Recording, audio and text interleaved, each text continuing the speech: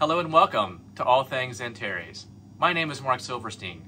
In this episode, we're going to be discussing it's what you don't see that sometimes matters most. Well, what do I mean by that? Well, how many times have we been on a boat at a boat show or gone over to somebody else's boat, jumped into the helm seat, grabbed that wheel, turned it port to starboard? We don't normally think, how is that mechanical energy being transmitted to the rudders? We just don't think about it because we can't easily see it. Well, we're going to discuss why this actually matters a lot. So let's first start this investigation by looking at YouTube and see what can we find about possible steering failures while at sea. Well, it's pretty easy if you Google it. You'll see emergency steering or no steering at sea or emergency, we lose steering. This short clip pretty much sums up what can happen when you lose steering on your boat. Yep, we had a catastrophic steering failure off the coast of Portugal. Um, it's a long story, but I'll do my best to condense it. Because it was a following sea coming from astern, the boat was surfing down six metre waves. Um, a lot of the time, at the bottom of the wave, the boat will try and round up and turn beam onto the waves, and then the autopilot corrects. So the rudder and the steering system are under a tremendous amount of pressure. Prolonged exposure to those stresses will result in some sort of failure. It's highly unusual for all three chains to go at once, but it, it happened in our case, and it was about midnight. Was it about midnight? Yeah, it was midnight. We'd had, um, like we said, these um, huge waves 24 hours on the Friday. I mean, these things never happen when it's nice and sunny, and you know, it's always if there's anything working at sea taught me is when things go wrong, it always goes wrong at the worst possible timing. So I know that nobody watching this video wants to have their steering go out when you're at sea, especially in 40 knots of wind at the middle of the night. I mean, let's face it, typically when something breaks on a boat, especially if it's a major problem, it usually happens at the worst time. So let's talk about the different systems that exist today on boats for steering. First of all, let's discuss the wire and chain system. So to explain how this system works, it's not super complicated.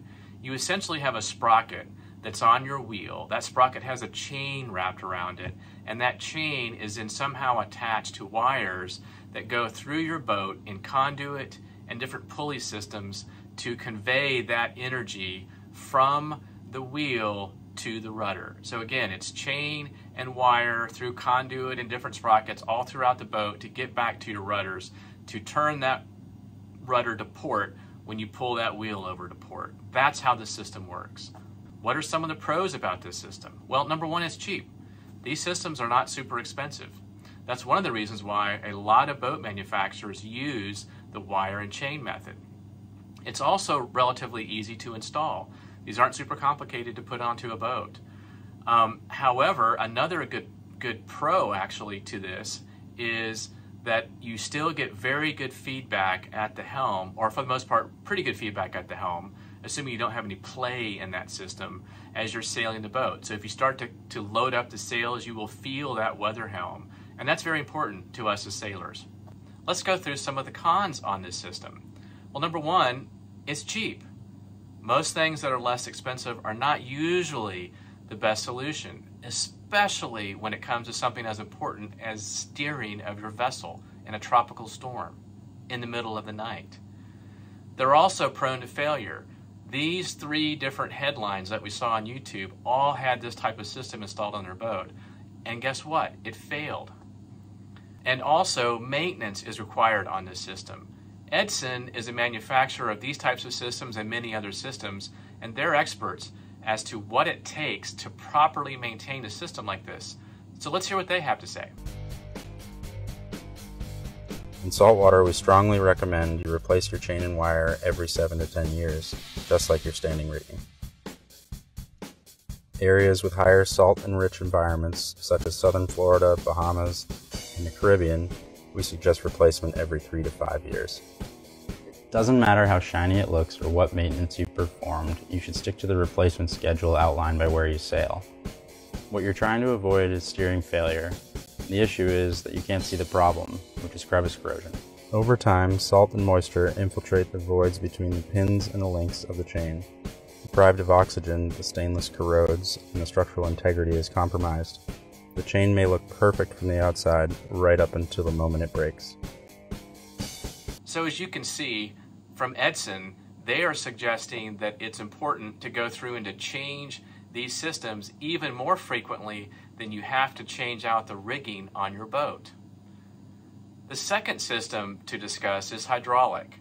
So the way that the hydraulic system works is you take the energy from that wheel going port to starboard, it goes through some sort of, of a mechanism to convert that to a hydraulic pump, and that hydraulic pump then through hydraulic hoses pressurizes that system and uses some sort of a ramrod system to actually move that rudder port or starboard depending on the feedback from the wheel. So let's talk about some of the pros and cons to the hydraulic system. For one, it's a lot more reliable than, the chain and wire system that we discussed previously. In addition, with this system, you can move very heavy loads on that rudder. A lot of very large vessels will use hydraulic steering on their boats. So the cons, what are the cons to this system? Well, one of the cons to this system for sailors anyway is it is very difficult to get good feedback from that rudder to the helm, especially when you're sailing. If that boat loads up, you're in 20, 25 knots of, of breeze, you can feel the weather helm with the wire and chain solution. You cannot feel the weather helm very well, if at all, on a hydraulic system. It can also be kind of messy to fix. When something goes wrong with a hydraulic system, there's usually hydraulic fluid everywhere, and that's not necessarily trivial to fix or to clean up. So let's talk about the rack and pinion system. It's very different than the previous two. In this system, as you turn the steering wheel to port and starboard, it takes that energy and transmits it through a number of different gearboxes that are joined by aluminum shafts all the way out to your rudders. There are no wires and no chains and no hydraulic fluid involved in these types of systems. Think about it like this. A lot of cars that you drive today, while in some cases they are hydraulic, certainly hydraulic power steering, it still ultimately is using a rack and pinion mechanical system to turn that, that wheel port or left or right in this scenario. What are some of the pros to the rack and pinion system? Well, number one, it's the most reliable of the two systems we've just talked about. They're very reliable. They're also very low maintenance. There's not a lot of maintenance that you need to do on a rack and pinion system. And finally, you still get very good helm feedback from that rudder to the helm in any type of weather condition. You can feel the weather helm very similar to how you can with a wire and chain, and in most cases better because there's not any play or potential play or stretching of wires in that scenario. So, what are the cons to the rack and pinion system? Well, a big one is its expense. It is the most expensive of the three systems we've discussed. And so, because of that, a lot of boat manufacturers don't want to spend the money on something that you can't easily see to install on their boats. So, now the big question is what do we use on Antares? Well, let's ask Sancho. Sancho is one of the owners of Antares Catamarans, 40 Grados Sur, down in Argentina. We use a system developed by Jefa Steering, which is a transmission steering, which um, it's a set of bevel boxes, which are uh, just like transmission boxes with uh, torque tubes, and all that system um, takes the the the movement of the wheel to the to the rudders uh, using tubes instead of using chains or cables. That uh, gives us a very reliable system which uh, doesn't need any maintenance and has been working amazing for the last um, 10 or even 15 years on, on older boats. Well, this system is it is more expensive than the rest.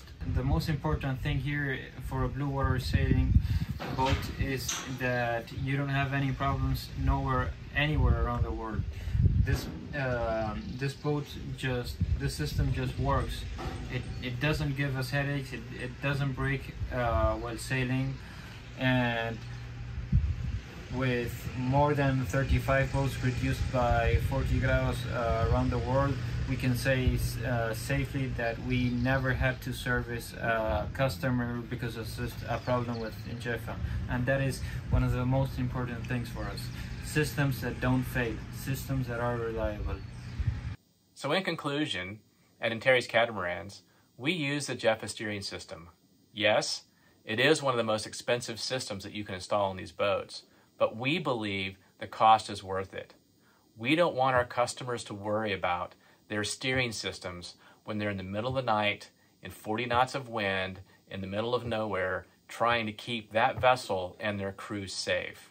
It's just not worth it. These service intervals on wire and chains are more far more frequent and they're far more prone for potential issues and our customers expect that when we build these boats, we put the best possible systems in place to keep them safe anywhere in the world.